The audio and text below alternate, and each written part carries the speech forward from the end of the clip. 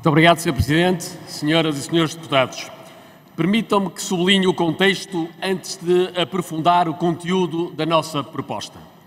Isto para afirmar a responsabilidade do Partido Socialista, seja no exercício do poder, seja no exercício da oposição. Somos o partido das ideias e das concretizações. Sim, somos o partido das ideias e das concretizações.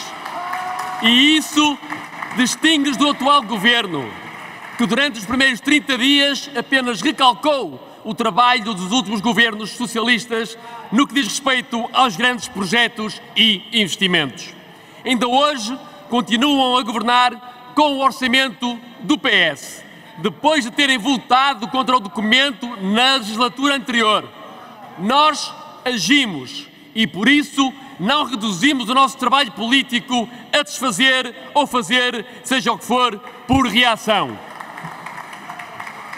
Assim, estamos aqui para falar de mobilidade, uma área fundamental para o desenvolvimento dos territórios, por várias razões. E entre elas, uma razão pelas suas políticas que permitem a democratização e o acesso efetivo ao serviço público do transporte pela sustentabilidade com vantagens ambientais, convergindo nomeadamente para as metas da neutralidade climática em 2045, pela segurança, pela rapidez e pela facilidade dos serviços de transporte com capacidade de alternativa ao uso do automóvel, pela coesão territorial, aproximando os conselhos e as regiões, as pessoas e os bens ou serviços.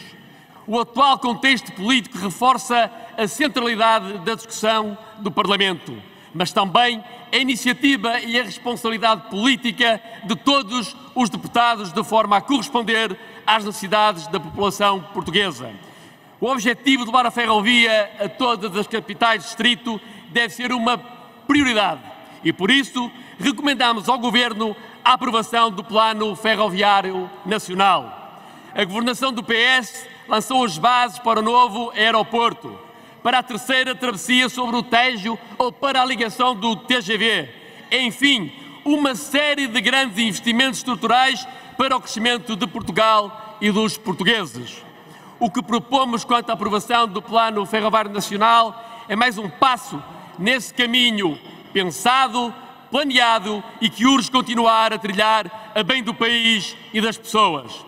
Senhor Presidente, senhoras e senhores deputados, além da rede ferroviária existente e dos projetos de expansão já em execução, permitam-me destacar a ligação de alta velocidade Porto, Braga, Valença ou a ligação Guimarães-Braga, cujo impacto será extremamente positivo para as famílias, para os trabalhadores, para as empresas e para o turismo. Senhor Presidente, senhoras e senhores deputados, para terminar, sobre estas prioridades há um consenso alargado na sociedade portuguesa que esta Assembleia não pode deixar de perceber, de sentir e de representar. Muito obrigado.